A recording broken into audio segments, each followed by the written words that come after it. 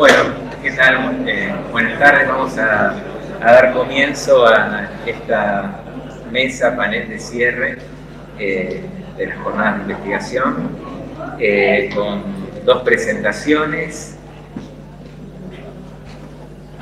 una de un investigador de la casa, Marcelo Zaguier, y otra de una investigadora amiga de la casa, María Victoria Murillo.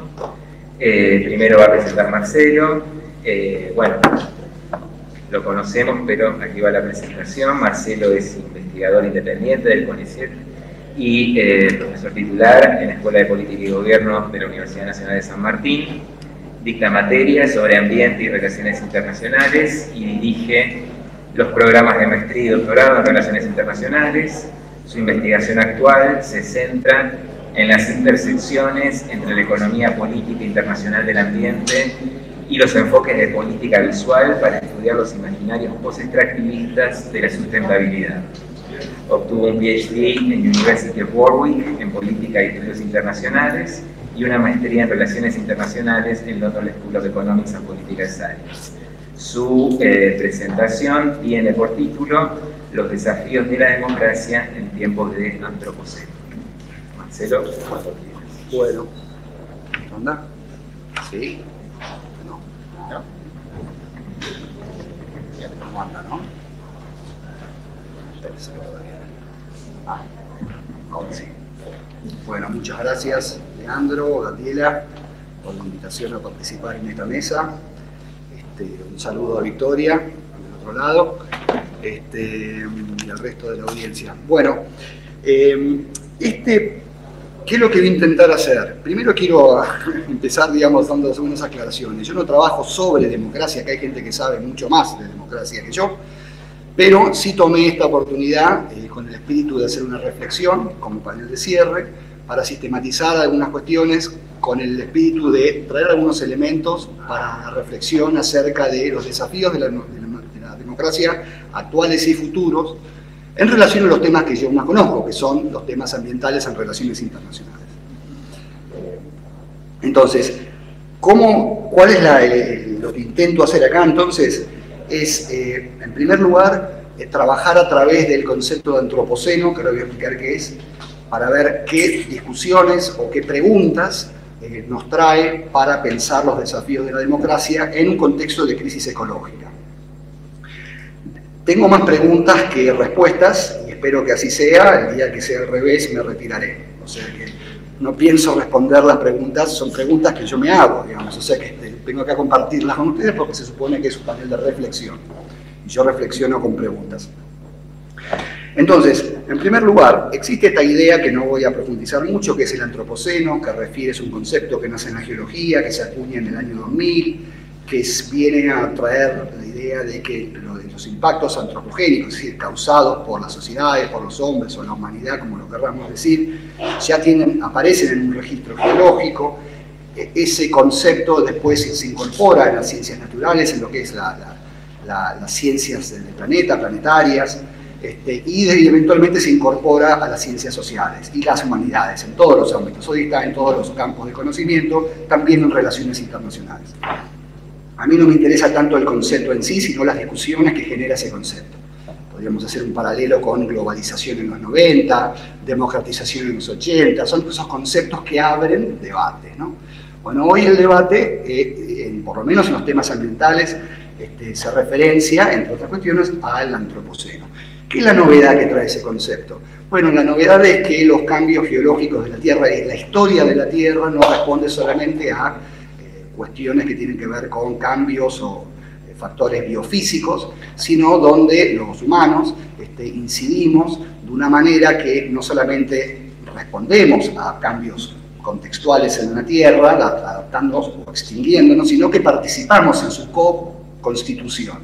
Es decir, los humanos coexisten con fuerzas biofísicas en la producción de los futuros posibles acerca de la Tierra. Dicho en otras palabras, este, nuestro rol es este, determinante para extinguirnos y destruirnos o bien para generar algún tipo de posibilidad este, superadora de eso. Entonces ahí hay todo un debate ético sobre cuál es el antropos, qué tipo de humano, qué tipo de política, qué tipo de ética gira en torno a la realización de ese problema, que es eh, el hecho de ponernos en el centro de la reflexión, lo cual ya de por sí es una cuestión bastante moderna, pero desde el lugar donde existe la posibilidad de la autodestrucción.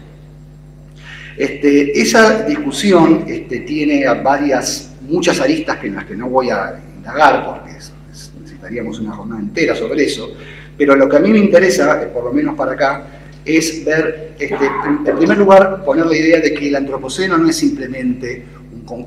Por antropoceno me refiero, los tipos de fenómenos que ocurren en el antropoceno son eventos climáticos extremos, la, radicalización, la profundización de todos esos eventos este, a escala planetaria, que este, no son simplemente factores contextuales o, coyunturales o gestionables, sino que plantean una condición distinta. El antropoceno no es un problema administrable, sino que es una condición nueva en la cual las sociedades, la política y la democracia se encuentran.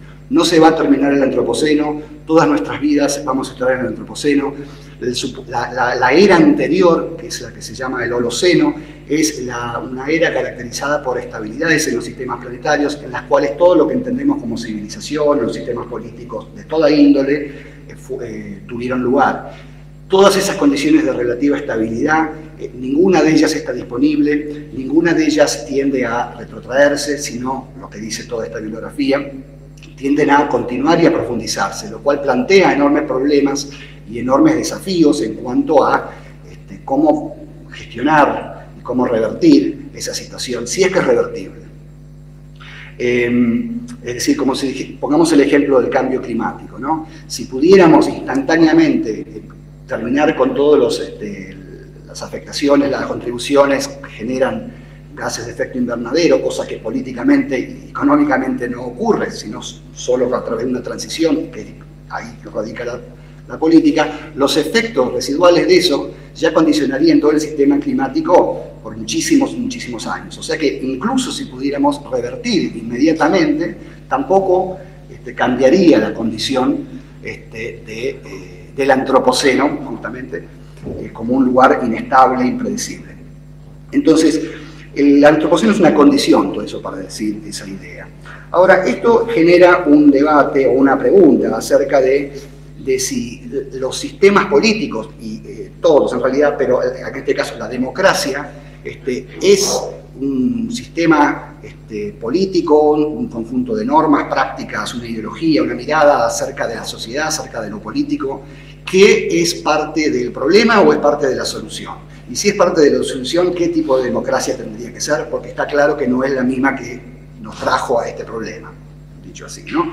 Este, entonces, ahí está la discusión que tiene ese título, eh, de algún modo, este, una etiqueta, que es la discusión sobre las democracias ambientales, ¿no?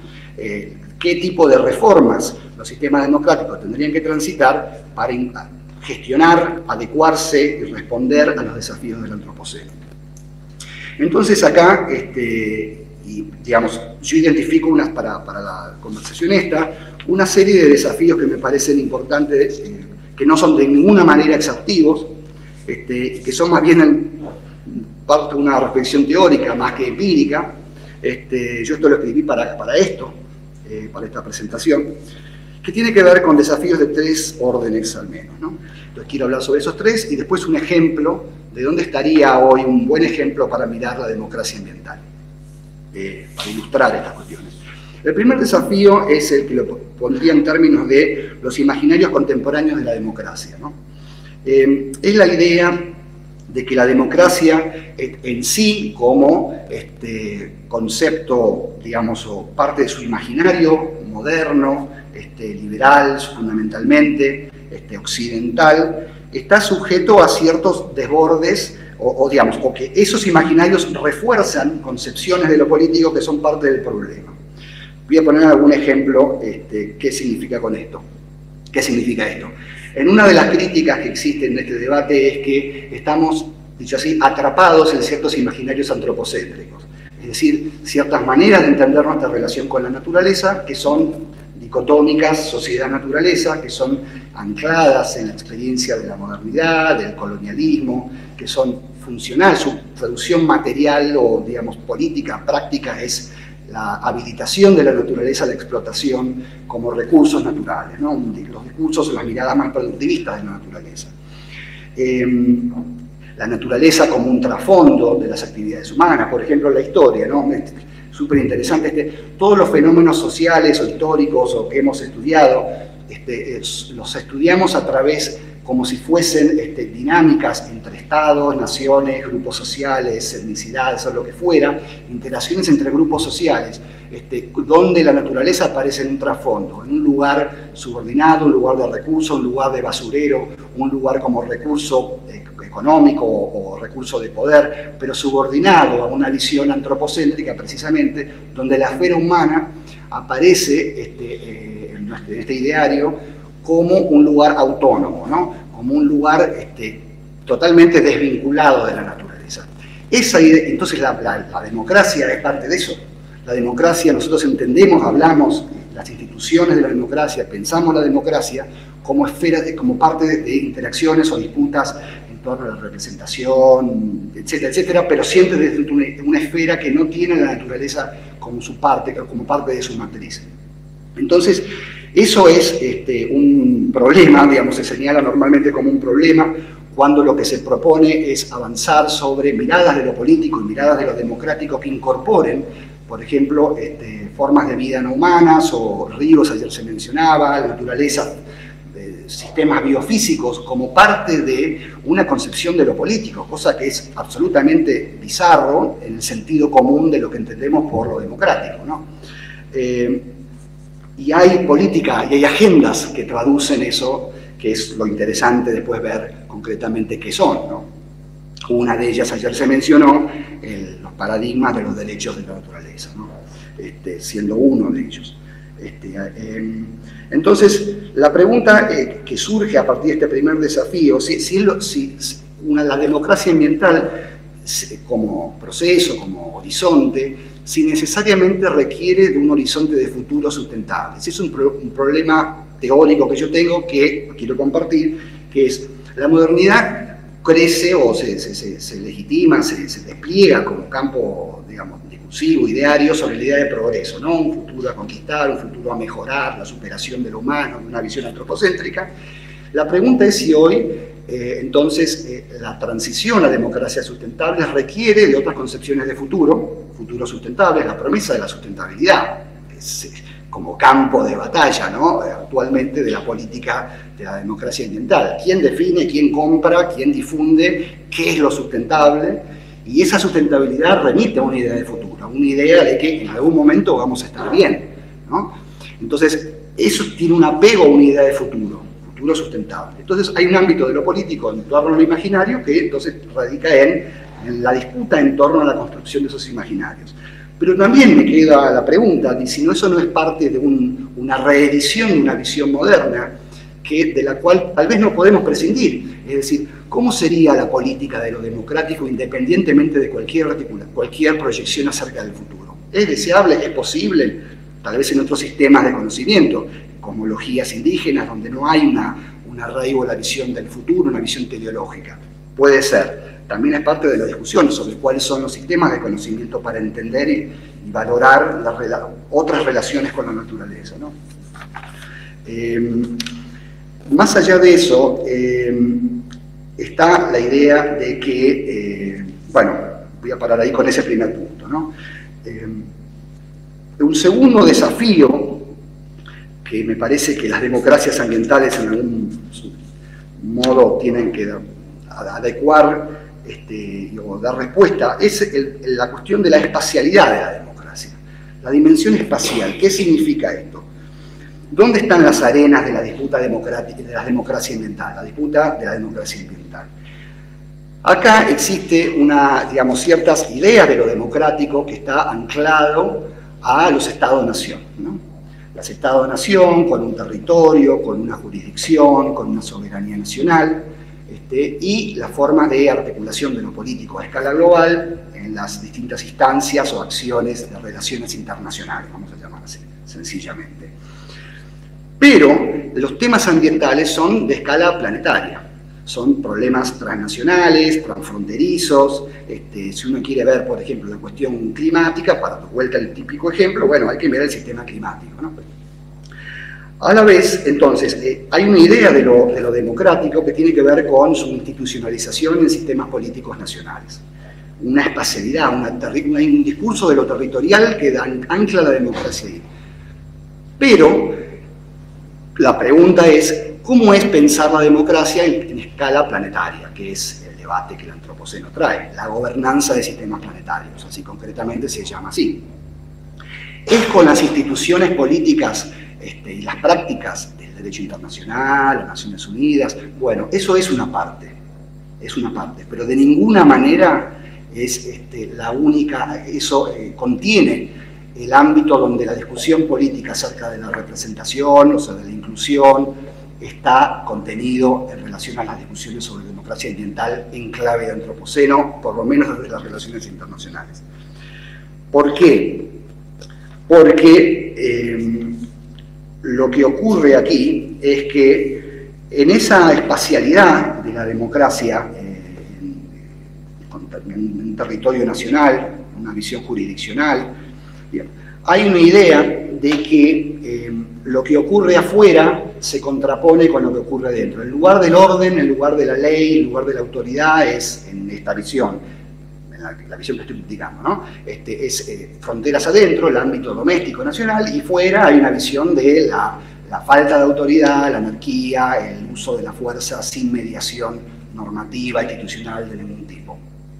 Esa idea es una idea este, súper problemática para eh, los esfuerzos de mirar la, democracia ambiental en clave más planetaria, porque precisamente no contribuye a generar eh, esquemas de, política, esquema de gestión, de gobernanza global de temas ambientales, que es precisamente uno de los horizontes que se plantea la democracia ambiental para poder gestionar de formas cooperativas, colaborativas, este, problemas que son de índole planetario. Y eso no, no, no, no, quiere decir que todos los países o sociedades o sectores sociales tengan las mismas condiciones o posibilidades. Por supuesto que no. Todo esto opera dentro de un marco de desigualdad. Em, pero eso es un problema de lo que podríamos llamar este, digamos, el problema de quedar anclado en una concepción de lo democrático netamente Estado nacional. Porque además hay efectos que otros estados, decisiones de otros estados generan por sobre las, las, las realidades de, los distintos países. Digo concretamente el Pacto Verde Europeo o, por ejemplo, la Anti-Inflation Act de Estados Unidos, que es la legislación más importante tema de inversión en temas ambientales o infraestructura para adaptación al cambio climático, o, el, Pacto Europeo, que generan este, toda una discusión acerca de cómo, somos, cómo se distribuyen los costos o las oportunidades este, en relación a otros países que, no, que exceden lo que pasa dentro de esos países. O sea que, ¿dónde está la democracia? Eh, digamos, suponer, quedar con una idea de que la discusión democrática sobre los impactos, digamos, este, queda exclusivamente en relación a los países que eh, reciben esas, afectaciones o esas oportunidades, queda corto, vamos a decir así, después puedo explicar por qué.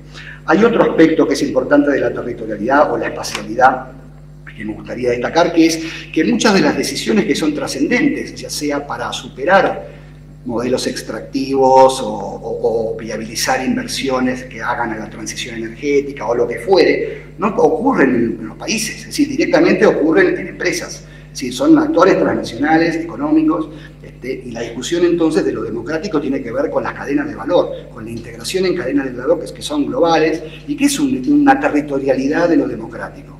No es un tema menor tiene que, hay países que tienen más incidencia en esa discusión y hay otros que no. Es decir, este, no es que entonces de salir a flexibilizar las ideas estadocéntricas de lo democrático, básicamente es otro ejemplo.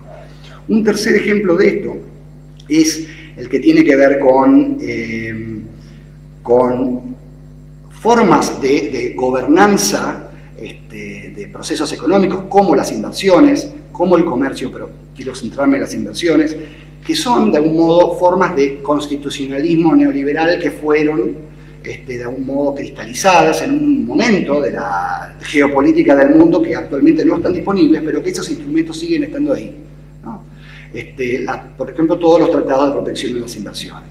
Ahora es un tema que excede los temas ambientales, pero se vuelve especialmente significativo ahora, porque cuando los países quieren, este, eh, en cualquiera de sus instancias, provinciales, locales o nacionales, avanzar sobre legislaciones que tengan que ver con, por ejemplo, adecuar este, a través de políticas públicas o regulaciones o lo que fuere, ciertos objetivos con otros objetivos climáticos acordados, por ejemplo, en acuerdos internacionales o biodiversidad o lo que fuere, encuentran rápidamente un obstáculo en esos, en esos acuerdos de protección de las inversiones porque las empresas demandan contra esos estados.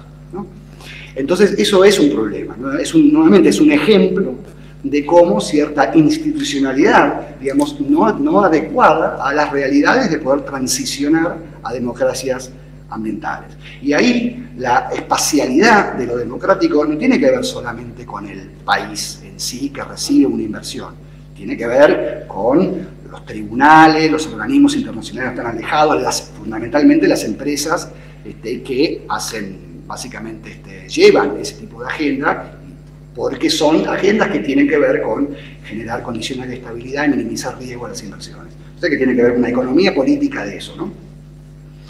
Em, entonces, eso es en cuanto a la, espacialidad de, este tema, de lo democrático, ¿no? Cómo mirar en distintos niveles lo, democrático desde el punto de vista de dónde ocurre, dónde son las arenas, dónde están las discusiones, para pensar lo democrático, más allá del Estado, además del Estado, ese es el punto. Este, hay una tercera este, otra dimensión, ya no sé qué número era, pero otra dimensión, que es la temporalidad de la democracia. ¿no? Eso suena tal vez medio raro, medio abstracto, pensar que la democracia pueda tener una temporalidad. ¿no? A lo mejor en la idea de lo, territorial o lo espacial es mucho más evidente porque hay territorios nacionales, ¿no? gobernados con fronteras y de distintas maneras. Este, bueno, también hay una temporalidad, hay una dimensión temporal de las formas de democracia que actualmente tenemos, que serían de algún modo tensionadas o puestas en evidencia sus limitaciones frente a los desafíos de transicionar a democracias ambientales. Ejemplo, bueno, hay muchos eh, eh, problemas que tienen que ver, afectaciones, formas de violencia concretamente, este, que transcurren en periodos largos que no tienen que ver con los ciclos de un gobierno, de una selección, digamos, de las formas institucionalizadas que tiene la democracia de rendir cuenta, de representar, de rendir cuenta, de, responder. Bueno, hay, un libro maravilloso este, que habla sobre el concepto de, violencia lenta, ¿no? la idea de que, por Rob Nixon, la idea de que, eh, bueno, ¿qué ocurre cuando hay efectos este, acumulados, efectos digamos, este, acumulados antropogénicos acumulados en el tiempo, que son, son invisibles, son invisibles en el corto plazo. y solo se ven en el largo plazo. Y cuando se develan es cuando, son, es cuando es demasiado tarde. Y quienes este, muestran los impactos de, esos, de esas formas de violencia normalmente son los sectores más vulnerables de la sociedad. Vamos a poner ejemplos, ¿no? Bueno, este, los efectos de los agrotóxicos en la, la, agricultura industrial. ¿no? Son efectos en la salud, salud acumulativos, ¿no? los impactos de la contaminación, de todas distintas formas de contaminación. ¿no?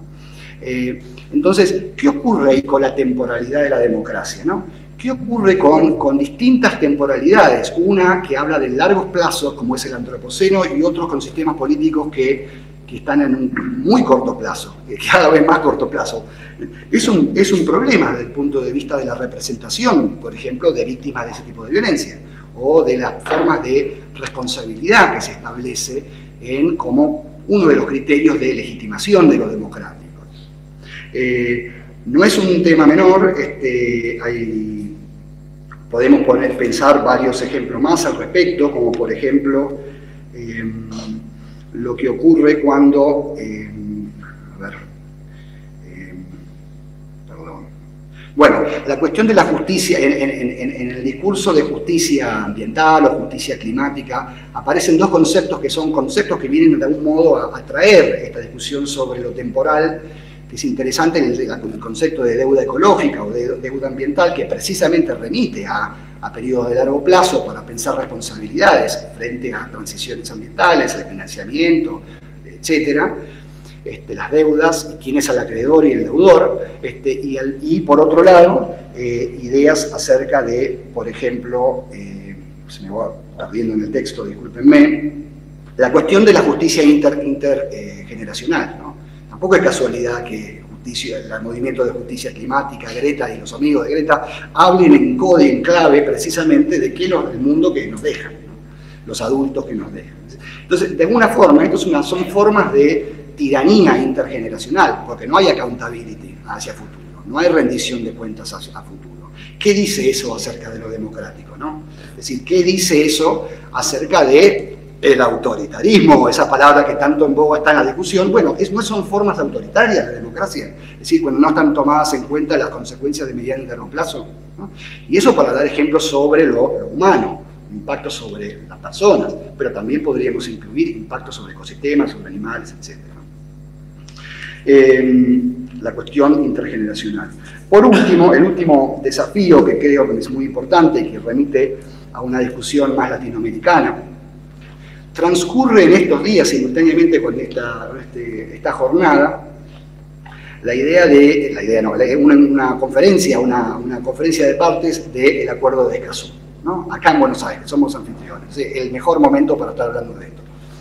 Eh, ¿Qué es el Acuerdo de Escazú? Bueno, es un acuerdo latinoamericano y caribeño de, este, derechos de acceso a temas ambientales, derechos de participación, derecho de acceso a información pública y, derechos de, acceso a justicia en temas ambientales.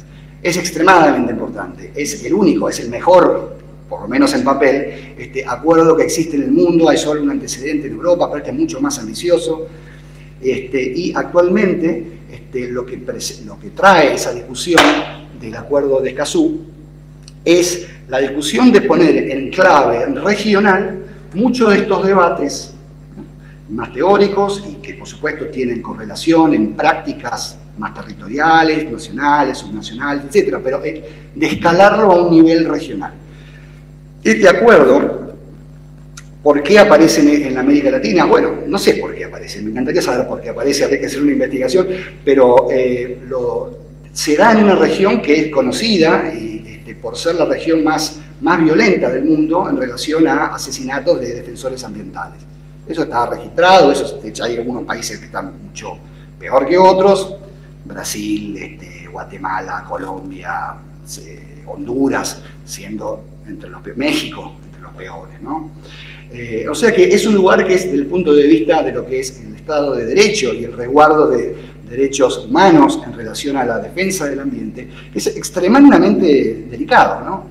Y además que es delicado, es el lugar en el cual, por sus recursos naturales y por sus patrones de inserción en el comercio y en el sistema económico internacional, hay una presión grande sobre los recursos naturales que no piensa en haberse vuelto atrás. Todo lo contrario, que hoy aparece reeditada a partir de discusiones acerca de la transición energética, los minerales de transición, es decir, todo, así que lejos estamos de estar superados de esas viejas discusiones acerca de países periféricos eh, de producción primaria y todos los conflictos sociales que se dan en torno a eso. Que además, no solamente que se dan por el hecho de que hay una, un interés en el mercado por recursos, sino porque son nuevas fronteras de los recursos y porque hay una politización, una concientización, una ciudadanía ambiental que disputa y organiza este, formas de activismo y resistencia para intentar frenar, mitigar o negociar con esos procesos. Entonces, no es casualidad que sea la región más este, eh, violenta o más este, peligrosa desde el punto de vista de la defensa del ambiente. Entonces, en ese contexto se da. ¿Y cuál es la, lógica que tiene detrás? Bueno, de generar un sistema, un foro, una plataforma, donde los gobiernos pueden compartir experiencias acerca de estándares mínimos procedimentales este, en estos tres pilares o tres ejes del acuerdo. Em, puede ser muy técnico, pero al mismo tiempo es un, prefiero verlo como un proceso político que puede estar abierto a ciertas eh, resultados interesantes. ¿Por qué? Bueno, porque la temática ambiental, como todos sabemos, es parte ya del léxico de lo democrático en todos los países, es parte de procesos institucionales, algunos más avanzados, otros menos, otros no. Eh, hay toda una discusión sobre algunas de las cosas que hablábamos tangencialmente ayer, ¿no? del plano de lo, judicial, lo, normativo, este, los, fallos de distintas cortes que otorgan, reconocen este, derechos este, a, ríos, a montañas. Es decir, este es un río revuelto, abusando de la metáfora, donde están pasando cosas y donde hay algunas agendas gubernamentales, este, como en Colombia, como en Chile, este, y como en Brasil, que está todavía por esperar qué va a ocurrir, donde hay, digamos, una, apuesta muy fuerte a, una mirada este, de protección ambiental o socioambiental que, quiero resaltar esto, no tiene que ver solamente con las realidades nacionales o regionales en este caso, tiene que ver con una geopolítica de, una, de las transiciones a nivel global. Yo creo que lo que es interesante del Acuerdo de Escazú es un, que es una plataforma que permite, o permitiría, siendo utópico, permitiría generar una dinámica para reconstruir cierto regionalismo ambiental que permita avanzar las fronteras de la democracia ambiental, ciertas discusiones.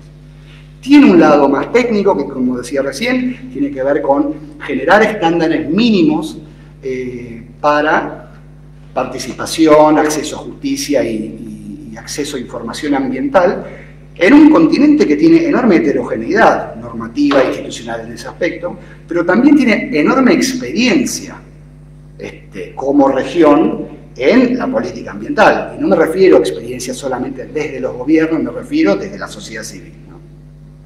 Entonces es un momento interesante para poner esto en discusión o para, para, bancar ese proceso, eh, porque creo que ahí hay una clave este, para generar, a ver, yo todo esto parto del supuesto de que los países este, primarios exportadores, especialmente endeudados, especialmente con problemas falencias en términos de desarrollo, desarrollo tecnológico, con todas las inestabilidades y problemas políticos. Es decir, no es que están en buenas condiciones para poder dar esta discusión. Entonces, la soberanía, el ejercicio de la soberanía en materia ambiental, en otras también, creo que necesariamente la apuesta es o debería estar en la construcción de formas de gobernanza regional de estos temas. El acuerdo de Escazú puede llegar a ser una punta desde donde generar estas discusiones. Ahora, hay algunos problemas también del acuerdo de Escazú, que no sé cómo voy de tiempo, pero perfecto. Algunos problemas del acuerdo de Escazú, que es un poco el ejemplo más, si quieren, más coyuntural donde terminar esta idea de, la que estamos hablando ahora. Eh, es un acuerdo, para empezar, que han firmado este, 25 países, si no me falla la memoria, este, pero han ratificado solo 15. ¿no? Argentina sí ratificó. Brasil no ratificó. Se espera que con Lula va a ratificar, pero tiene un congreso complicado, digamos, para los temas ambientales y todo. Yo creo que parte del activismo internacional de Lula ahora es para, de algún modo, compensar las dificultades nacionales que tiene. Pero bueno, es otra discusión, ¿no? Tal vez no, no sé. Pero bienvenido, bienvenido sea, digamos. Eh, entonces, es aparentemente inminente que Brasil va a ratificar, Colombia ratificó, este, Argentina ratificó, Chile ratificó, Belice hace poco, hace pocos días, eh, Granada creo, varios países más. Perú no, Perú todavía no. Este, imaginarán por qué. Eh, entonces, el punto es que actualmente el proceso es proceso político en torno a la discusión concreta, digamos, del proceso donde habría un corrimiento, una frontera hacia una formas de democracia más participativa, más que vinculen la cuestión ambiental, este, está en un momento de nacimiento todavía y donde, acá es no sé, una advertencia, espero que no sea así, pero donde tiene una característica rara este acuerdo que es un acuerdo que está muy asociado, muy promovido, muy legítimo este, de, organismos internacionales, ¿no? Este, las Naciones Unidas, este, la UNTA, bueno, la CEPAL, que es el que oficia todo el proceso de negociación, ofició el proceso de negociación y es el, apoyo técnico. Es decir, en todo lo que es la comunidad internacional de expertos y ámbitos políticos que tratan estos temas, dan el visto bueno y dan un acompañamiento. Y todos los cuadros de los gobiernos, todos los ministeriales y cuadros técnicos de los países. Perfecto. Pero no es, a diferencia de como suelen ser los temas ambientales, los conflictos, no es algo que haya sido una demanda de la sociedad civil o de actores sociales. Es de arriba hacia abajo. ¿no? Eso es raro. Eso es raro. No necesariamente es un problema. Este, espero que no pero actualmente es medio raro. Solo en Argentina, en Chile, este, en Perú, aunque no haya ratificado, y no sé si alguno más que me haya quedado por ahí, hay un activismo de parte de organizaciones de la sociedad civil que han hecho seguimiento y han participado de todo el proceso, lo, cual es una novedad del proceso de CASU, que es la participación de actores sociales y el público en la negociación misma. Este, pero, es una, pero no es en todos los países por igual, no hay una demanda. En Brasil, eh, estaba en una entrevista el otro día, en Brasil, este, que es enormemente importante como un actor para esta discusión, la sociedad civil de Brasil no, no conoce el caso. ¿no? Entonces, digamos, queda con poco a merced, o no conoce no porque no le interese, sino porque hay 200 millones de otros temas en los que están militando, es decir, este, ya tiene otros encuadres, es un proceso muy nuevo y que necesario, me parece a mí, que la medida que pueda prosperar es en la medida que es apropiado, no solamente por gobiernos que tengan una agenda verde, sino por actores sociales y empresariales también, ¿por qué no? Este, que tengan una agenda, eh, digamos, para avanzar en ese campo. No sé, Actualmente en Buenos Aires estos días se está dando la, segunda COP recién, o sea que es todo muy nuevo, y siempre estamos en la fase de la política regional de la implementación y de interpelar a sectores sociales para que se involucren en ese proceso. Eh, o sea que lo dejo planteado como una oportunidad. Eh, bueno, paro ahí. Gracias. Gracias.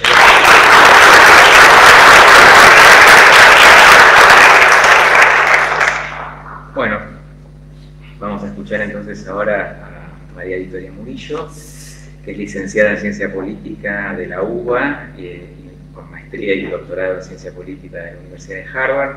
Actualmente es profesora titular eh, de Ciencia Política y de la Escuela de Asuntos Públicos e Internacionales y directora del Instituto de Estudios Latinoamericanos en la Universidad de Columbia. Fue profesora en la Universidad de Yale e investigadora postdoctoral en la Universidad de Harvard y en la Fundación Russell Sage. Trabaja sobre economía política, comportamiento electoral, debilidad institucional y políticas públicas en América Latina. Su trabajo más reciente se enfoca en el conflicto agrario y la economía política de la conservación de tierras. Su último libro es La ley y la trampa, publicado en 2021 por Siglo XXI Editores, coautoreado con Daniel Brinks y Steven Levitsky, entre otros libros, entre los libros perdón, que ha publicado se destacan Labor Unions, Partisan Coalitions and Market Reforms en Latinoamérica, que fue publicado en castellano como Sindicatos, Coaliciones Partidarias y Reformas de Mercado en América Latina también por siglo XXI, sobre el papel del sindicalismo durante las reformas neoliberales, Discutir Alfonsín con Mario Peceni y Roberto Gargarella, evaluando la gestión del primer presidente democrático, Political Competition, Partisanship and Policymaking en Latinoamérica, que analiza las privatizaciones y regulación de servicios públicos en la región, y eh, Non-Policy Politics, Poor Voters, Future Voters and the Diversification of Electoral Strategies con Ernesto Calvo, que se enfoca en las estrategias electorales para diversos votantes y sus consecuencias en las propuestas políticas de los partidos, ahí faltaba uno, The Politics of Institutional Weakness en Latinoamérica, con Daniel y Steven Levitsky también, que propone una tipología sobre la debilidad institucional en función de trabajos específicos sobre reglas formales en toda la región. Eh, María Victoria nos va a hablar ahora de eh, democracia y debilidad institucional en América Latina. Así que bueno, muchas gracias María Victoria, eh, cuando quieras. Muchas gracias Leandro por la invitación a, a Lanzán, es siempre un placer estar, aunque ahora sea a la distancia, en Lanzán. Y yo voy a hablar un poco eh, de, democracia, pero también de poder y de vida institucional. Y, quiero reaccionar un poquito a la, presentación anterior, en el sentido que, creo que los problemas son aún más profundos que lo que se dijo en que el poder es inherente a la especie humana. Eh, no me parece que sea algo que tiene que ver con la democracia, sino que siempre, y por eso las instituciones, que eso es lo que caracteriza a, la especie humana, la especie humana ha tratado de eh, no solamente establecer jerarquías al interior de las comunidades, sino de domesticar a las plantas, a los animales, a los cuerpos físicos, desde que desde el Homo sapiens o como sean adelante. O sea que me parece que el problema es aún más profundo respecto a la relación con la naturaleza y las posibilidades de una, de una democracia ambiental. Eh, teniendo eso en cuenta, quiero conversar un poquito sobre el tema de las instituciones y entendidas estas como forma de, cristalizar el, poder y, cómo se puede tratar de realizar en el contexto de una democracia como la entendemos ahora, ¿no es cierto? La democracia representativa que está como la realmente existente, por decirlo de algún modo. Eh, y, en ese sentido quiero hablar, o sea, el, punto central es las dificultades que tienen las democracias para funcionar con los partidos políticos y las aún mayores que tienen para funcionar sin los partidos políticos. Em, me parece que la crisis de representación en, el caso de la democracia latinoamericana, pero no solo, está realmente entrelazada con los malestares o descontentos que tienen que ver con la, con la democracia y que en parte una de las soluciones a esos conflictos ha sido el tener arreglos institucionales débiles, ¿no? Eh, que, no tienen que ver con problemas de, falta de, capacidad técnico, sino de necesidades políticas eh, que, que, reflejan diferencias de poder eh, y que no quieren que esas instituciones sean fuertes. Para, para ser un poquito más expreso, en todos lados las instituciones expresan diferencias de poder, expresan compromisos, pero a veces estas son explícitas. Por ejemplo, en el caso norteamericano es muy común las leyes tengan lo que se llama sunset clause, que es una fecha de, final, de finalización. ¿Por qué ocurre eso? Porque en un momento dado, hay cierta correlación de poder, pero no se sabe qué va a pasar en el futuro, siempre incierto. Entonces, la negociación es, bueno, hagamos esta ley por 10 años y en 10 años vemos de nuevo. Si la correlación poder se mantiene, la ley se mantiene, y si no caduca, como ocurrió con la, regulación del control de armas pesadas en Estados Unidos, que caducó exactamente por, por esa razón. Entonces, en todos lados la, fortaleza o la debilidad de, las instituciones tiene que ver con, con correlaciones de poder. La pregunta es por qué en América Latina o qué tipo de instituciones tenemos en América Latina que juegan con esa fortaleza y a veces prefieren instituciones más débiles, no por un tema de técnico, sino por un tema de juego de poderes políticos. Eh, y cómo se pueden clasificar esos tipos de debilidad institucional, que es lo que hacemos en el libro con Dan Briggs y Steve Levitsky. Y acá como para poner como ejemplo el, más claro lo que denominamos leyes aspiracionales, en mi perspectiva son bastante habituales en la región y que emergen en el contexto en el cual aquellos que pueden escribir las reglas, sean legisladores, constituyentes o, o alguna otra persona, eh, puede ser eh, regulaciones internacionales que no tienen realmente la capacidad de hacerlo cumplir efectivamente, pero creen que está bien ponerlas en el papel, porque aunque no sean realmente cumplidas, en algún momento futuro cambiará la correlación de fuerzas, se podrán modificar los patrones de cumplimiento. En algunos casos piensan que la ley va a tener un efecto pedagógico que va a endógenamente cambiar la correlación de poder, o a veces hay eh, shocks exógenos de otras condiciones que llegan al poder. Por ejemplo, la regulación de la violencia de género que Argentina tiene y casi todos los países de América Latina tienen, no es que alguien piense que en el momento en que se pasa la ley se acabará la violencia de género porque se hayan establecido sanciones, sino que como un esfuerzo de modificar las normas sociales, de hacer consciente a la gente de que existe esa violencia, de que, de que no es algo que, tiene, que está antes naturalizado, y eso a su vez ayuda a organizar, por ejemplo, a las mujeres, las diversidades, y puede contribuir a su explicación efectiva. este, este, proceso de jugar con las instituciones aspiracionales, como digo es una estrategia muy común en América Latina, la vimos sobre todo en el ámbito constitucional, los ejemplos de constituciones donde ha mucha participación de ahorros, como la de Colombia de 1991 y la de Brasil de 1988, establecieron muchos derechos que inmediatamente no se cumplieron, pero que posteriormente la movilización social y la judicialización hace que sean activados, como denominamos nosotros. Y yo me permito que tal vez eh, esto ocurrió con los derechos indígenas, eh, los territorios indígenas en Colombia, derecho a la salud en Brasil, pensar que tal vez aquellos que escribieron el acuerdo de Cazú en Costa Rica pretendían algo similar, tal vez un, un, un acuerdo que es muy ambicioso, que efectivamente no se cumple ni siquiera en aquellos países que han ratificado, pero con la esperanza de que tenga ese efecto pedagógico de modificar cómo piensa la gente respecto a la naturaleza, de generar esa organización social que es tan necesaria para su efectiva aplicación. Esto eh, nos hace pensar un poquito el tema de la ambición de la legislación en América Latina, en un, una región caracterizada por una gran desigualdad social y, concentración de poder, donde la democracia en casi todos los países garantiza el derecho a la igualdad de la ley, pero no siempre esto eh, se, se, aplica.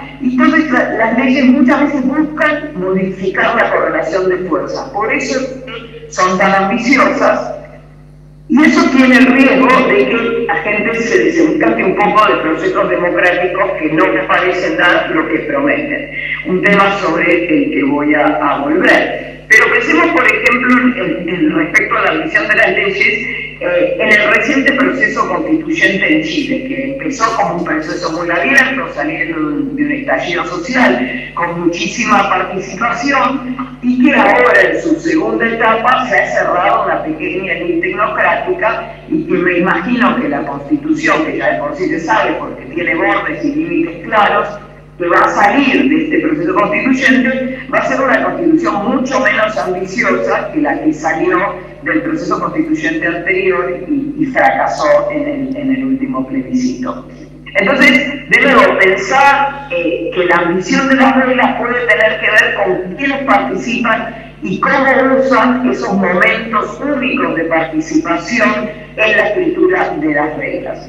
También puede pasar que a veces quienes tienen poder de hacer las reglas se vean presionados, sea por eh, actores internos o externos, eh, a, adoptar ciertas reglas ellos efectivamente no quieren que tengan el impacto que aparentemente la regla tiene, y entonces juegos desde, desde la forma en la que se escriben las reglas, se incluyen sanciones, y esas sanciones son triviales, efectivamente hacen que reglas que parecen eh, importantes a veces no sean más que simbólicas. Eh, por ejemplo, las leyes de, cuotas de género, que en el caso argentino se aplican, en muchos países se permite el pago de multa y la cantidad de mujeres en la representación no se modifica.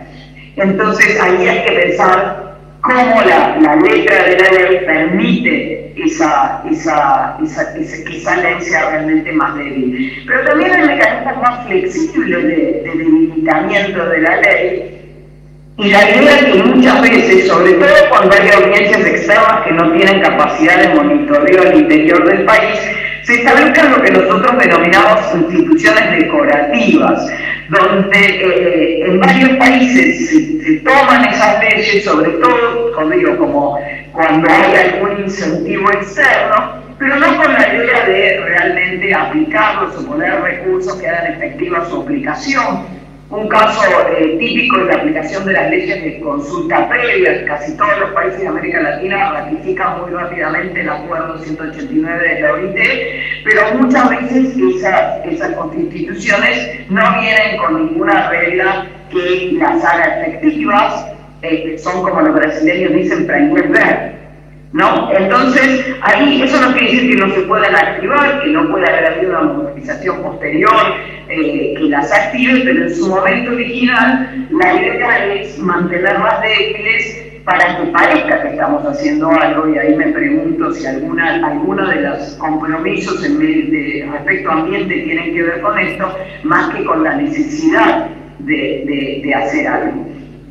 Pero no, esta flexibilidad de activar y desactivar las leyes es súper importante para entender cómo funcionan eh, las estrategias de las democracias en América Latina. Incluso la posibilidad de no aplicar la ley, lo que nosotros denominamos como tolerancia estratégica, sea porque beneficia a ciertos actores, sea por el costo social de aplicar la ley, es alguna forma en la cual, sin hacer una reforma institucional, se obtiene otro efecto. Y acá el, caso que para mí es dramático viviendo en Estados Unidos es la gran tolerancia que hay en América Latina a la ocupación de tierras públicas. O sea, con excepción de Chile, casi todos los países tienen eh, eh, asentamientos informales. Y esa es la resolución al problema de la vivienda, cuando en casos como como en Estados Unidos, es un problema que queda sin resolución. O hay o quien puede acceder a una vivienda social, o hay quien vive en la calle, pero no hay, cero tolerancia por la ocupación de la tierra pública como una solución intermedia. Eso, esa opción de tolerancia estratégica tiene que ver con el costo social que implicaría, o que implica, en los casos que sí se hace, eh, echar a la gente que no tiene donde vivir. También se puede pensar en la, desactivación de una regla que se vuelve muy dura eh, en función de su aplicación selectiva, sea reflejando diferentes jerarquías sociales o geográficas. Acá se puede pensar, por ejemplo, en las zonas marrones de, las que hablaba Guillermo Roden, ¿no? como una forma de aplicación selectiva de la ley en ciertas regiones y no en otras. Estas instituciones de poder afectan también las inversiones que hacen los estados en las capacidades burocráticas. Y en el caso latinoamericano, desde por sí, donde los estados son relativamente débiles respecto a su nivel de desarrollo, eh, ahí nosotros lo que vemos es una aplicación cegada por lo que llamamos estados distantes que frente a la escasez de recursos aplican la ley para aquellos que tienen mayor influencia política y de algún modo coproducen la aplicación de la ley, le complementan los recursos al Estado.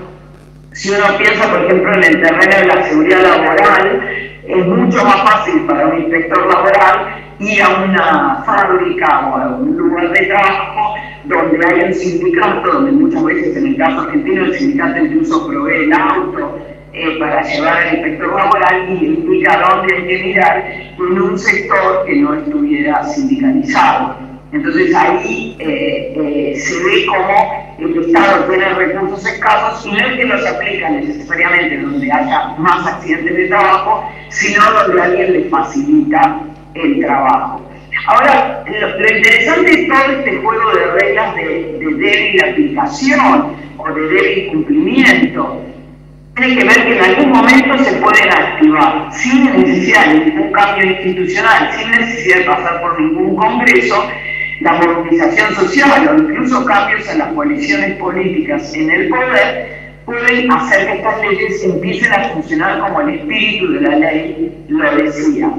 Y en esos casos los efectos de la ley pueden llegar a ser más costosos para ciertos actores poderosos que modificar la ley lo que va a aumentar los incentivos para cambiar las reglas, para lo que nosotros denominamos su reemplazo serial, es decir, que reflejen diferentes, eh, diferentes cambios con cada cambio en la correlación de poder.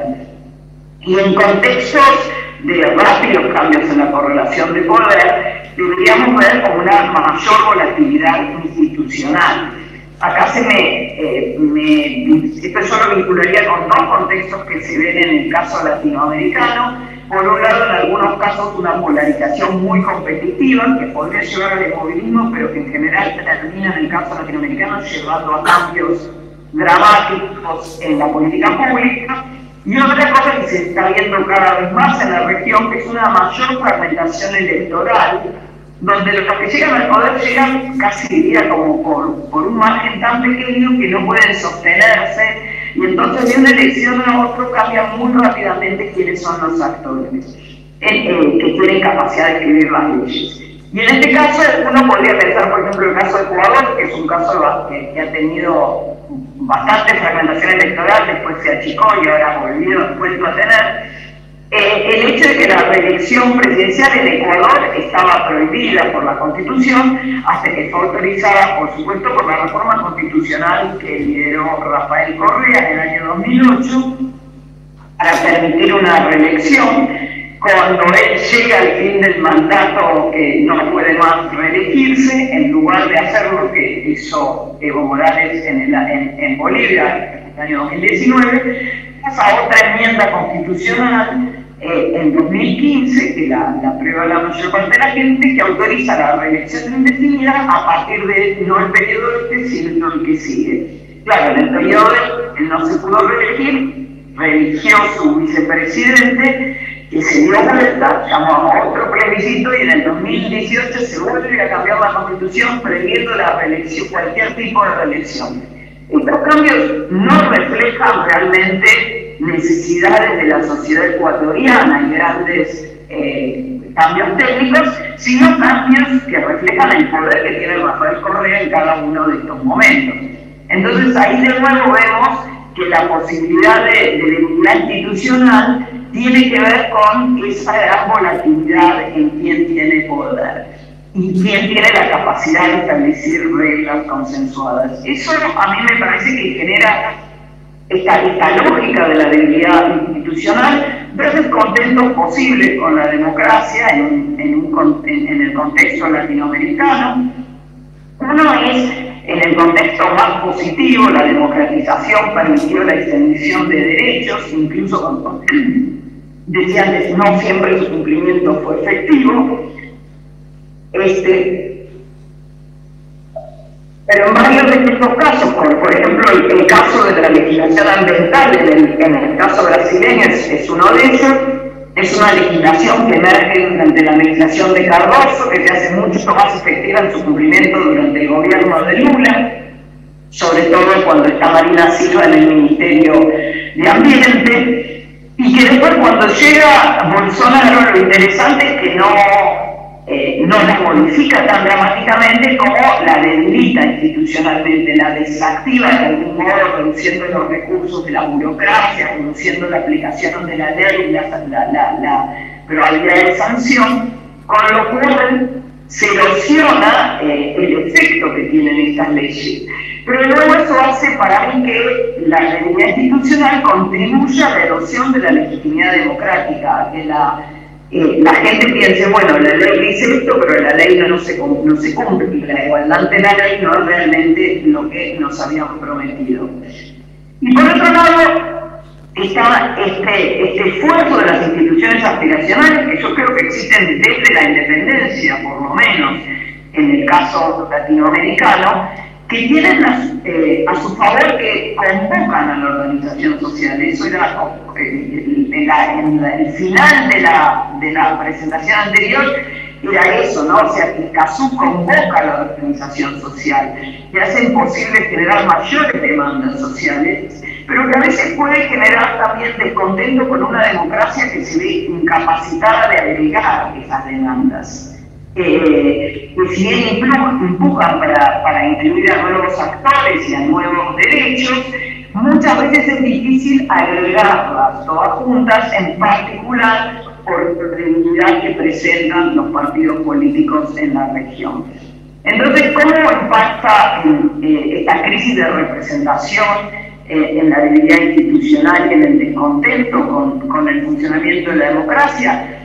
Y acá, muy rápidamente, yo diría, la transición democrática en, en, en, los 80, en su coincidencia con la crisis de la deuda, dio como un momento de, promesa, no solo de mayor bienestar ante la ley, sino de, no solo mayor igualdad ante la ley, sino también de mayor bienestar. Las reformas de los 90 inicialmente fueron recibidas como, bueno, se acaba la inflación, con una expectativa de de un cambio económico que evidentemente no, no ocurrió. La estabilidad macroeconómica fue acompañada de reformas con un enorme costo social, con ninguna estrategia de crecimiento sostenido, pues generó un descontento a fin del siglo pasado Y ahí es donde muchos de los países de la región ven la reestructuración de sus sistemas de partidos. Cuando los sectores populares habían sido los que adoptaron las reformas, surgen nuevos outsiders que reestructuran el sistema de partidos, el caso del MAS en Bolivia, de Correa en Ecuador y en los casos en los cuales la izquierda no estaba en el gobierno, como dice Ken Roberts, se provee una alternativa política. Y este fue el proceso que vivimos como de la, nueva, la ola de la izquierda a principios del de, siglo, del milenio, que también generó procesos de, procesos de, expectativas, de promesas, de inclusión, en un momento en los cuales eh, el precio de las, de las commodities permitió un gran crecimiento económico que en sí mismo fue clave para reducir la pobreza, reducir la desigualdad, la, informalidad, la emergencia de la nueva clase media. Sin embargo, no vino en conjunto con una estrategia de crecimiento sostenido. En, ningún lugar de la región hubo dos estrategias, la de la estrategia norte de Centroamérica y México, que apostaron a integrarse con Estados Unidos vía inversiones, vía mercados, vía migraciones y remesas, y la estrategia sur, digamos, eh, al sur del canal de Panamá, que se vincula más a la exportación de recursos naturales hacia el mercado chino y con la inversión china también. Entonces, estas estrategias yo creo que son las mismas que se mantienen hasta el día de hoy, aunque el gobierno ya no, no haya dejado de ser de izquierda, pero no son estrategias que a partir de la caída del precio de las commodities puedan cumplir con las promesas democráticas, en un contexto donde ni, ni el momento de crecimiento ni el momento actual pudieron resolver otro problema que tiene la región y que no hemos, del cual no hemos conversado hasta ahora, que es el de la inseguridad, ¿no? que es una de las regiones del mundo donde eh, de, los índices de homicidios son los más altos. Entonces, en ese contexto donde no se resuelve el tema del bienestar económico, no se resuelve el tema de, la seguridad, es que vimos que el descontento recorda las calles antes de la pandemia, el año 2018, pero más aún el año 2019, fueron años de muchísimas protestas en la región, que obviamente se sofocaron un poco con la pandemia y después reaparecieron, y también una región que demostró ser mucho más un voto antigobierno que otras regiones del mundo. Ahora, a mí me, llama la atención cómo esta protesta es parte de, un indicador de una crisis de representación que, como decía antes, se nota más en los casos de en casos como Perú, Chile, Ecuador, Guatemala, Costa Rica, incluso Colombia, donde si uno mira las primeras vueltas presidenciales, por supuesto Perú a la cabeza, con que el que saca más votos saca 18%, pero Boric no saca más que un cuarto más, un cuarto de los votos en su primera vuelta. Tampoco hay una gran emoción con, con, los candidatos y acá la falta de, de coaliciones que sostengan la gobernabilidad de las instituciones democráticas se hace más patente incluso que en los casos de polarización. Eh, el acuerdo entre partidos es, me parece hasta ahora el único modo que conocemos de agregar eh, eh, las, las, demandas y las preferencias de distintos actores y es crucial para que las instituciones políticas se, fortalezcan y siempre, y cuando los partidos tengan realmente aceptación social para que se sostengan en el tiempo las instituciones y se, como se dice en inglés, take for granted, uno las considere como que sí van a estar y no espere su cambio, requieren haber sido instituciones consensuales, es decir, que ningún actor importante tenga incentivos para cambiarlas. Y, si no hay esos partidos políticos representativos que parecen estar en crisis en la mayor parte de la región, lo que le queda es a los grupos sociales la tarea de coordinar esos equilibrios institucionales. Eh, un poco de nuevo, la, tarea de organizarse detrás de CASU, de sostener instituciones democráticas. Y tanto las organizaciones como los movimientos sociales en muchos países de la región han demostrado ser extremadamente efectivos para defender instituciones específicas vinculadas a sus propios objetivos. Sin embargo, no hay tanta evidencia que puedan hacerlo con instituciones tan más amplias como son las instituciones democráticas. Y acá quiero volver sobre eh, el proceso constituyente y el borrador fallido de la, de la reforma constitucional chilena, que era un borrador muy largo, me tocó leerlo entero y tenía como 400 eh, páginas. Y acá lo que uno veía justamente eran actores sociales que les defendían sus temas específicos y estaban todos incluidos. Había una innumerable cantidad de derechos específicos, pero no había habido un proceso de agregación eh, de, toda de todo adentro de un solo proyecto y que hizo que de algún modo ese proyecto constituyente no tuviera dueños que lo defendieran. Es por eso que, termino con una, duda y no es realmente una solución al problema, que, que los partidos políticos que todos estudiamos desde que yo era estudiante de ciencias políticas el siglo pasado, son organizaciones del siglo XIX y evidentemente no han podido adoptarse bien en el siglo XXI. Toda la crisis de representación no es única a América Latina, es en todo el mundo que no ha elegido aún una alternativa que permita agregar demandas que son cada vez más diversas y más heterogéneas, porque cada vez hay más conciencia de la interseccionalidad y de, las, y de la complejidad de las demandas sociales. Ya no se puede aclarar, dividir todo en clase social nomás, como era aquella contradicción fundamental del siglo XX pero no emergió ninguna alternativa a los partidos políticos que permitan lo que el sistema democrático requiere, que es ese proceso de agregación de demandas diversas para establecer coaliciones que puedan hacer eh, sustentable una institucionalidad democrática. Así que acá me quedo y lo dejo para la conversación. Gracias.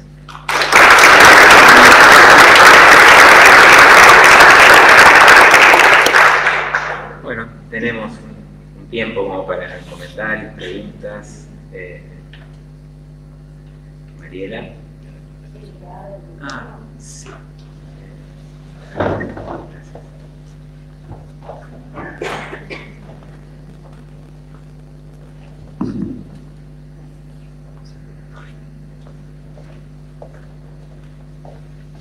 Bueno, gracias. Eh, bueno, felicitaciones primero por por el cierre eh, de esta jornada, que muy buena, la verdad.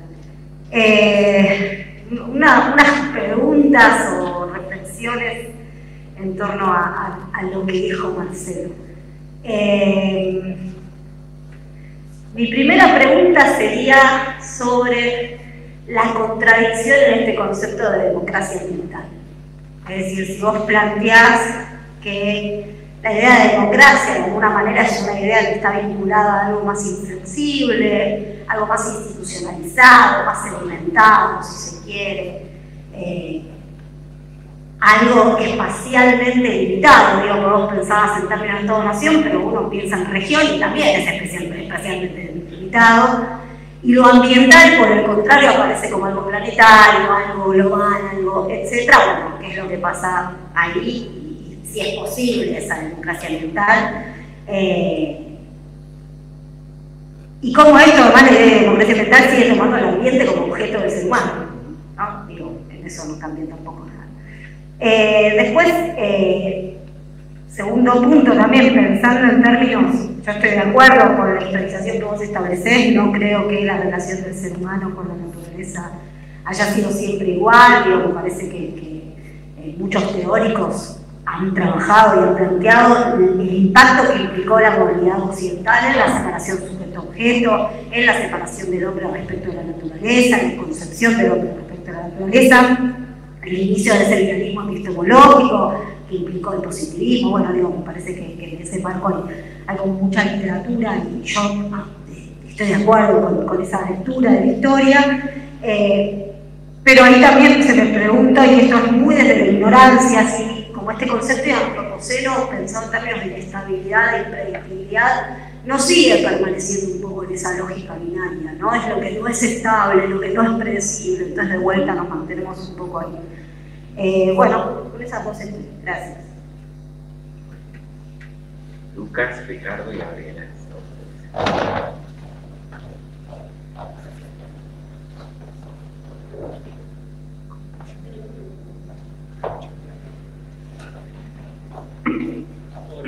Bueno, también celebro, festejo y agradezco que estas jornadas eh, sigan teniendo lugar acá en nuestra querida universidad. Marcelo, dos preguntas. Vos hiciste mucho énfasis eh, con respecto a la espacialidad en la escala global, que por supuesto es un, punto de conexión clave y central para todas las discusiones climáticas, pero digo, también me parece que estaría bueno incorporar la dimensión local, que muchas de las cuestiones y las discusiones en torno al ambiente están estrictamente vinculadas, atravesadas por la cuestión local y muchas de las cuestiones ambientales también por la propia naturaleza, por la propia característica de los sistemas climáticos, tienen también un componente eh, de interjurisdiccionalidad que escapa a la organización digamos, nacional, subnacional y local que está eh, estructurando la democracia más, eh, digamos, liberal representativa. Entonces, también como la propia esencia de la dinámica de los problemas ambientales está tensionando estos principios básicos por los cuales se ordenan las discusiones democráticas. Y en segundo punto, también te quería preguntar si vos entendés que dentro de del acuerdo de Escazú y dentro de estos, estas discusiones que vos este, señalabas que se están llevando a cabo eh, estos días en, Buenos Aires, también si hay algo que crees que puede eh, generar algún punto de conexión para pensar la democracia más a nivel regional, o si la firma y la posterior ratificación en índole nacional, digamos, encorseta la decisión de todo lo que puede surgir, digamos, eh, en el marco de Escazú a decisiones solamente acotadas a, la escala nacional. Gracias. Sí, gracias. Eh, para Marcelo, una pregunta parecida a la primera de Mariela eh, sobre lo que vos llamaste, bueno, se llama en la literatura la democracia planetaria. Eh, si aceptamos, asumimos el paradigma de antropoceno, eh, estoy de acuerdo con vos que a situaciones globales hay que tener en cuenta lo local, pero también hacen falta cambios en las formas, en las arenas de toma de decisiones internacionales y de ahí quizás lo que lo plantea el de democracia global. Eh, ahora, mi pregunta es cuáles son realmente, politólogo duro, las condiciones de posibilidad, de viabilidad de eso a la luz no solo de la experiencia presente, sino del pasado eh, todas las evidencias hasta ahora muestran primero que no hubo ninguna solución a los problemas ambientales globales, eh, salvo excepciones que vengan de regímenes internacionales. Segundo, que esos regímenes internacionales fueron nunca democráticos. Entonces, eh, ¿cuál sería la, condición en que de pronto eso podría cambiar podríamos tener una democracia planetaria? ¿no? Eh, yo veo a, la luz de las experiencias y de larga historia, no solo de los últimos años, que persistirían relaciones de poder, concluyendo a lo que dice Vicky, que no harían muy viables una democracia planetaria. Puedo estar de acuerdo, estoy de acuerdo normativamente, pero mi pregunta es más este, una cuestión de, viabilidad política concreta de eso. Eh, y ahí me llamó la atención tu último punto, que es, eh, por un lado, plantear que es necesaria una democracia planetaria, pensémosla como, primera pregunta, pero por otro lado, quiero resaltar el acuerdo de CASU como un acuerdo regional. A, como respuesta a un problema global que necesita respuestas globales. Pero entonces, ¿por qué apostaríamos a, a, una solución regional para problemas globales que además, coincido con Vicky, es muy internacional y que tiene el mismo problema de implementación y de bajada a tierra a, nivel doméstico y local que tienen todos los regímenes internacionales en el ambiental? Y, para mí que eh, eh, una pregunta que siempre viene de una cierta, no, no, no, no, no quiero decir malestar, pero no me termina nunca de, cerrar el, abordaje desde la debilidad institucional. Eh, entonces, la, pregunta es, lo que este fenómeno que ustedes llaman debilidad institucional, ¿es algo, ah, es algo específico de la región de América Latina comparada con otras regiones. Eh, y sea o no específico de América Latina, ¿qué es lo que explica entonces ese fenómeno? Vos te centrás mucho en las relaciones, representacional menos, eh, más bien en sus efectos, en su relación con la democracia, con la representación, pero ¿cómo se explica el día esa debilidad institucional, sea o no sea específica de América Latina? Ustedes solo hablan de América Latina, daría la impresión que pensarían que que es algo muy latinoamericano. Ahí mi primera pregunta, ¿no? Pero, ¿cuáles son las, fuentes, las causas, el origen de esa debilidad institucional? ¿Es algo, es, es una, un fenómeno eh, endógenamente político, o sea, sus causas son políticas, eh, tiene que ver con, en definitiva, algo específico de las élites políticas, de la vida política de los países latinoamericanos? ¿Tiene que ver con las formas de relación entre Estado y sociedad que se dio en esos países? O sea, saliéndonos un poco, no quedándonos solamente en lo estrictamente político tiene que ver con factores más económicos, tiene que ver con, con eh, factores macroeconómicos que influyen en las formas de relación entre la sociedad, que tienen que ver con eh, quizá la inserción internacional de los países latinoamericanos en el mercado internacional, etc. ¿Por qué América Latina eh, es un país que se caracteriza por su debilidad, una región, perdón, por su debilidad cuando lo comparamos con otras regiones? ¿Por qué esa insistencia en resaltar ese problema de América Latina?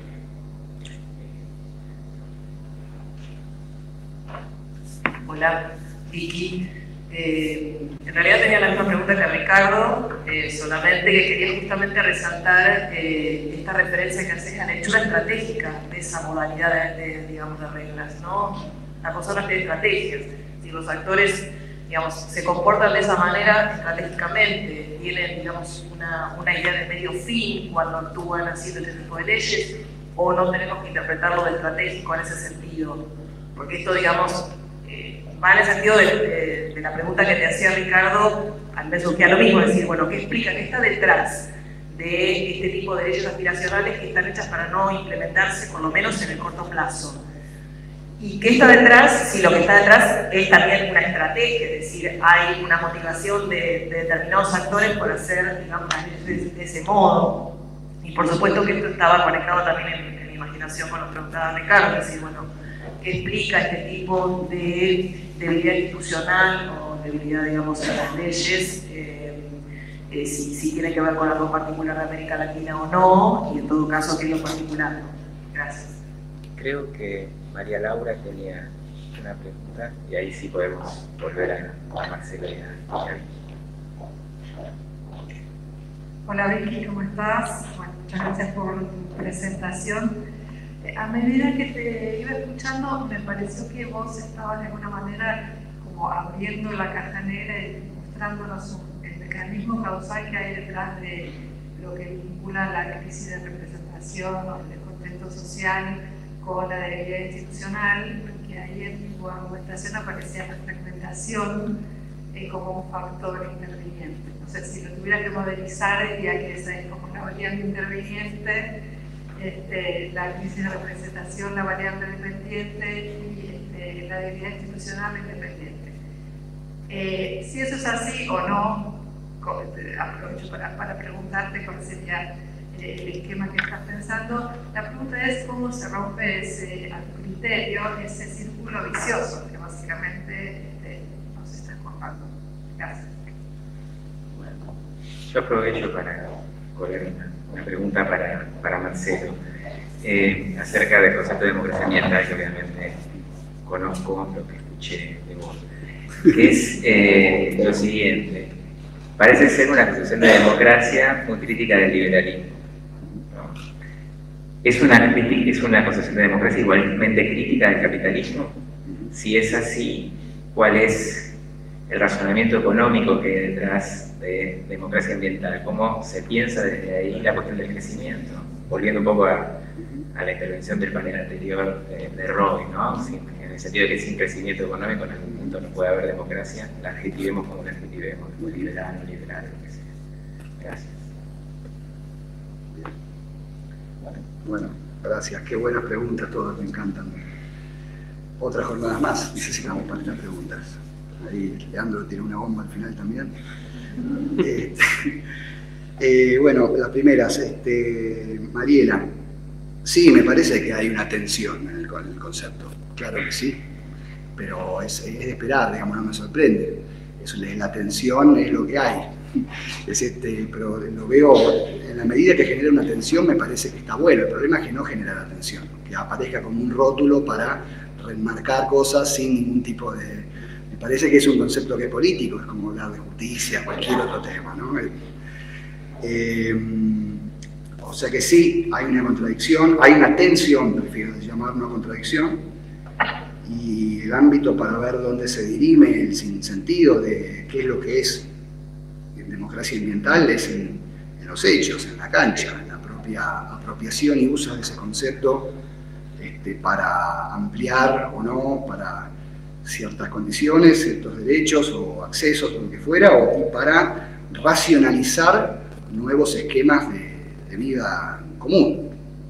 Es decir, este, eso tiene que ver con una, disputa por el lenguaje también.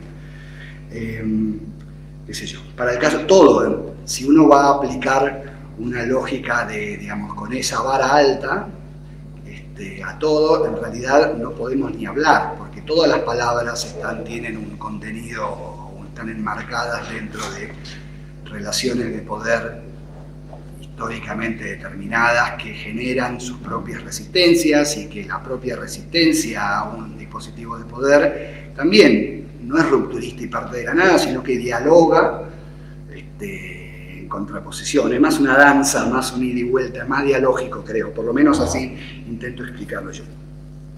Este, y la cuestión del ambiente como eh, tema como algo objetivo. Sí, claro, esa es parte del debate, eso es re contra interesante. De hecho, en la materia yo lo llamo, es, es una clase, el ambiente como objeto de gobierno, directamente. Es decir, este, y eso tiene que ver con algo que no, no, estaba en la presentación, que tiene que ver con esto de cuáles son la, disputa por el conocimiento acerca de lo ambiental, la crisis, el origen. La narrativa del antropoceno es un campo de disputa política como cualquier otro, y hay visiones que objetivan el ambiente como una visión a partir sobre todo de miradas que se pretenden universales y que tienen respuestas eh, eh, digamos, de, gestión de los problemas ambientales, muy ligadas a visiones más tecnológicas.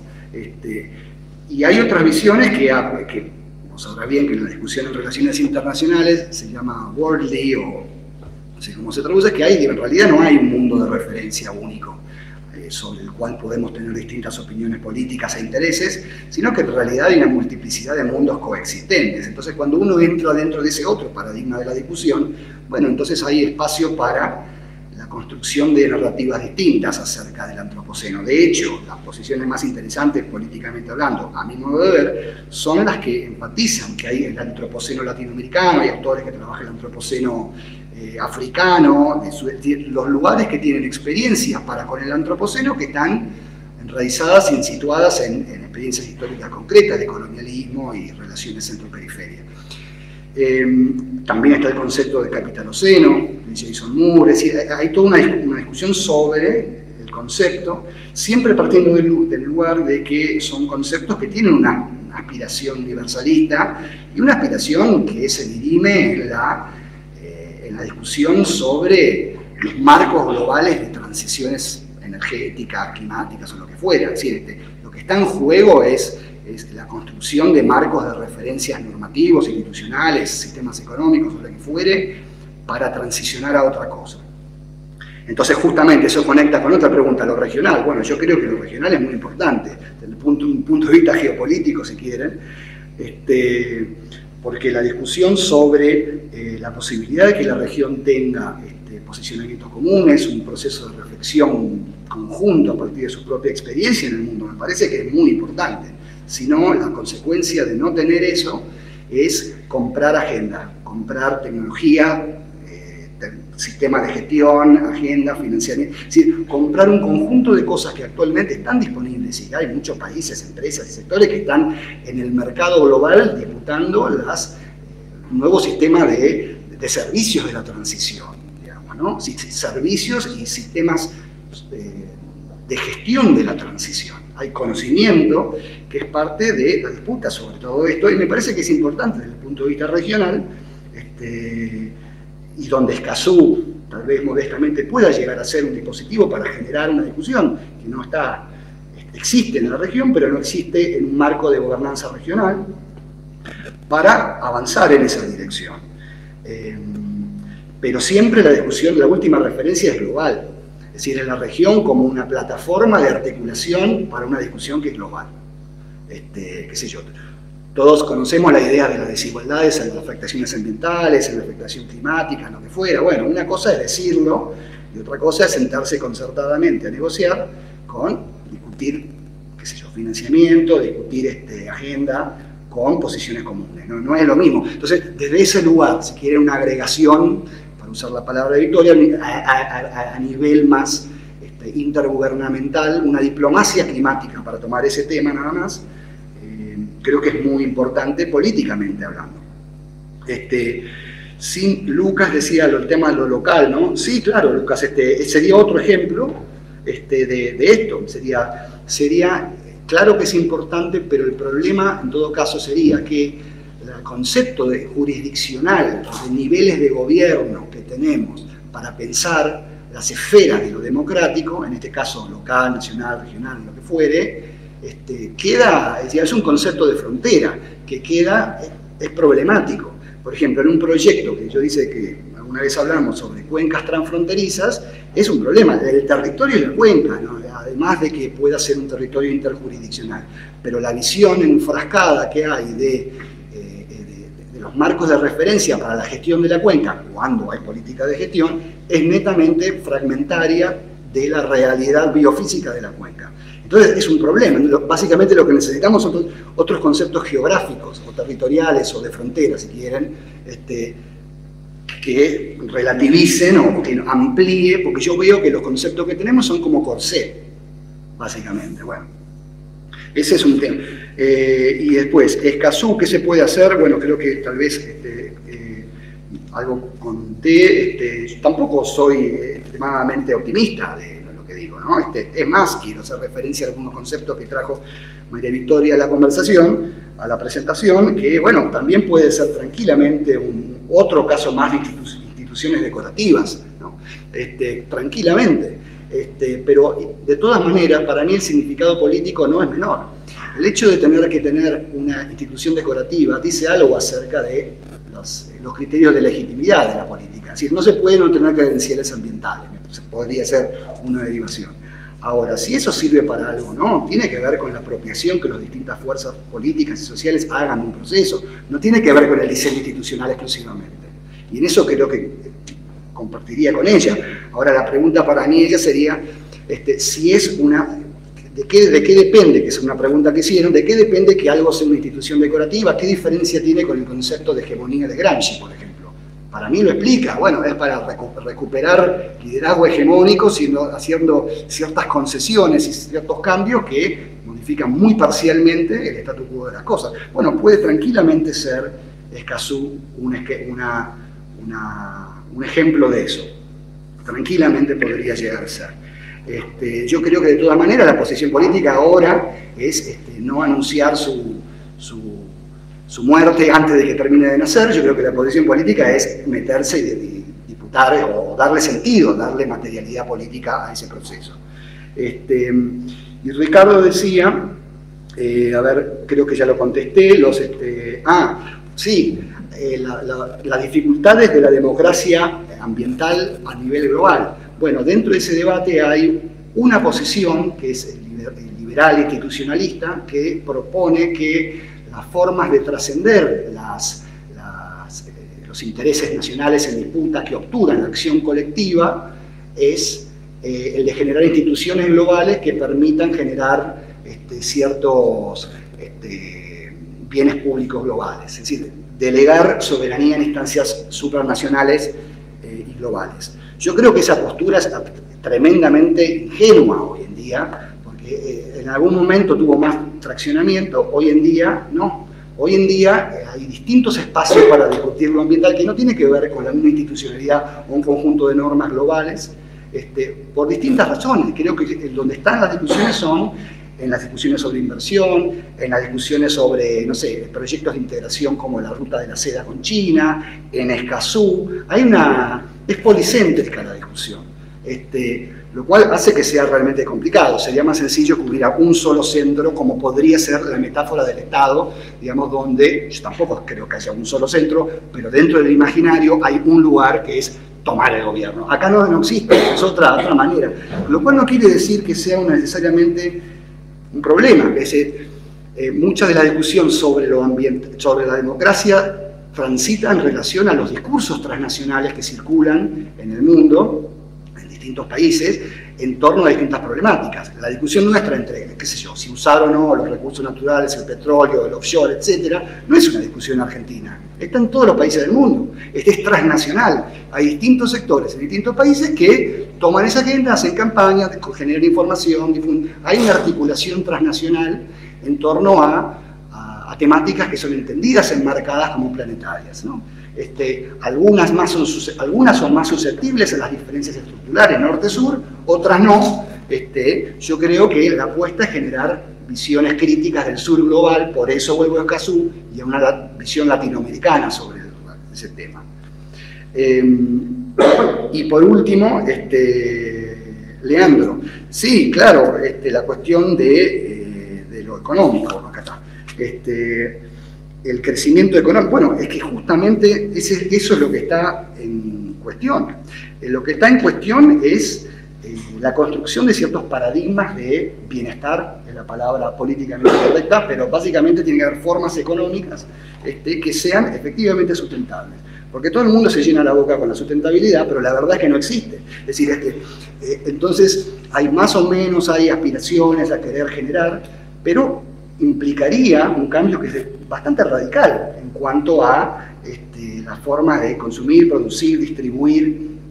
Y es algo que pega tanto al capitalismo, a la forma actual del capitalismo, lo cual no quiere decir necesariamente que, y hay un debate obviamente con el, ecosocialismo de que el capitalismo es incompatible, este, pero también al, socialismo existente, porque la verdad que las distintas visiones antropocéntricas del crecimiento, con una mirada más estatista, planificadora, centralista, también ha generado desastres, se ha, se ha mostrado totalmente insustentable eh, en términos ecológicos este, y políticos, ¿no? Pero bueno, ese es otro tema.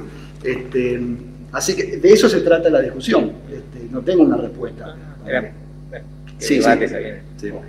Gracias. Gracias Bueno, Vicky. Ah, sí, bueno, queda poquito tiempo ya. Eh, un poco, un punto la pregunta de Ricardo y, un poco una pequeña discusión sobre el caso.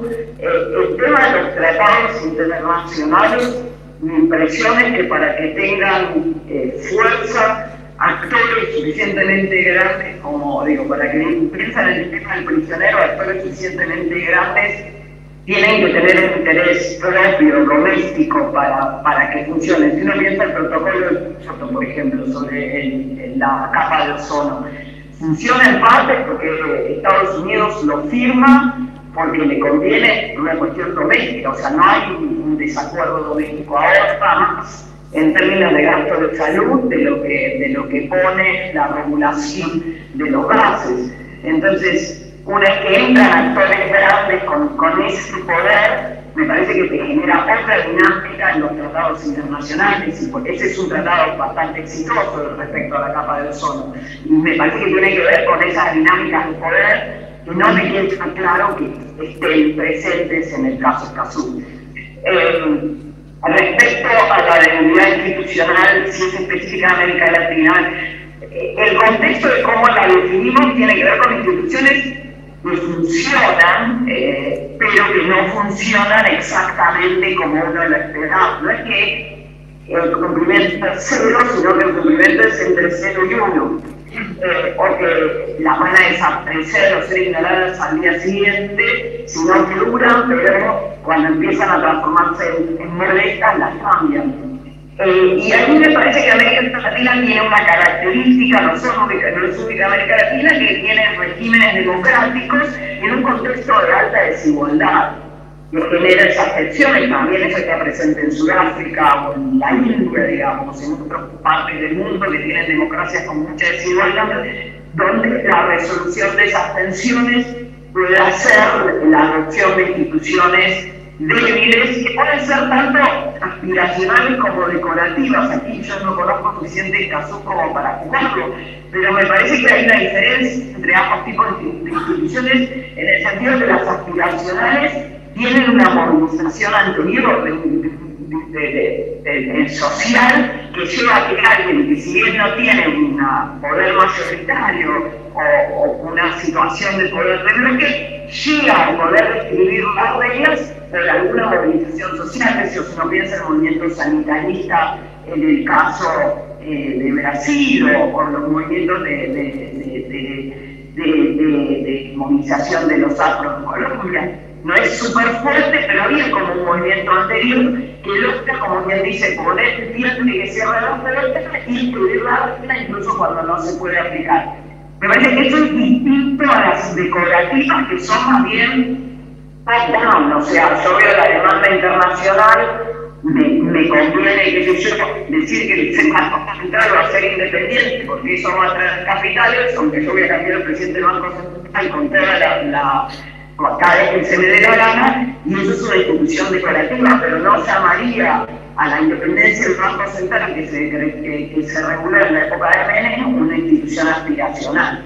Me parece que ahí hay como una pequeña diferencia. Ah, respecto volviendo al tema de qué es que tiene América Latina, y acá esto es bastante, como que tanto Gabriela como Ricardo mencionaron, bastante eh, así como más elucubrativo. Eh, América Latina es distinto a otras partes del mundo en que en su independencia las élites no se parecían a la población.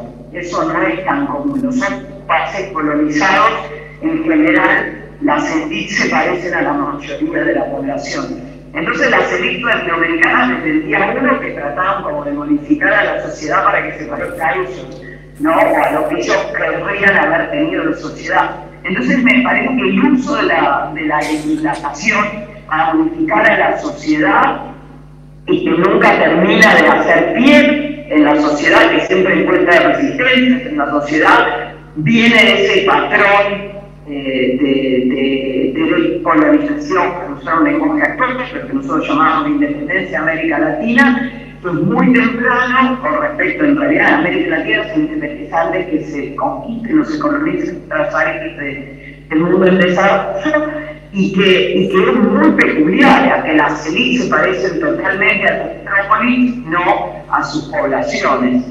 Eh, y eso hace que las élites tengan un incentivo muy temprano de usar la luz para tratar, como digo yo, de modificar eh, a, la, a, la, sociedad. Em, hay otras características como la dependencia de recursos naturales que aumenta la volatilidad, pero es bien interesante que no es solamente estas instituciones, sino reformas electorales, la los cambios, una vez me hizo Overland Paper sobre los cambios en los contratos petroleros, también son mucho más altos en América Latina que en ninguna región del mundo. Y no, había una explicación, o sea, esto sobre hay algo de la, de la región que genera una mayor visibilidad, si se quiere, de los conflictos distributivos, regulados dentro de esta institucionalidad desde su origen con una vocación, al menos en el papel democrática. Respecto al, tema del círculo vicioso, efectivamente, creo que esa fue la pregunta que escuché a Laura, que no escuché bien. Eh, hay, el, tema de que la debilidad institucional aumenta la crisis de representación y la crisis de representación, la debilidad institucional, pero me parece que ahora la crisis de representación tiene otras razones también que no son la debilidad institucional, eh, que tienen que ver con, con, eh, ciclos económicos, eh, que tienen que ver con un aumento en la heterogeneidad de las demandas y la incapacidad de los partidos políticos de agregar. Creo que hay un tema de agregación importante y eso hace que las instituciones se vuelvan más de lo que son. de nuevo, que sea difícil sostener los consensos mínimos a los cuales se habían y que había dicho que algunas instituciones eh, se mantuvieran en el tiempo. Me parece que hay, y todo el no voy a exorganizar nada, pero me parece que hay otras variables que aumentan la crisis de representación y afectan eh, la debilidad institucional. Y ahí los dejo porque creo que ya estamos sobre el tiempo. Sí, eh, gracias Victoria. Bueno, estamos llegando al final, así que bueno, muchas gracias a, a todas y a todos por participar, por la asistencia, Victoria por conectarse eh, por Zoom desde Norteamérica, Marcelo. Y bueno, gracias y hasta la próxima el año que viene.